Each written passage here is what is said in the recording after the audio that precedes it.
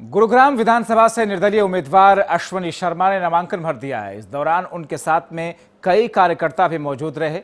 नामांकन के बाद में अश्वनी शर्मा ने जीत का दावा करते हुए कहा कि वो जनहित में काम करेंगे।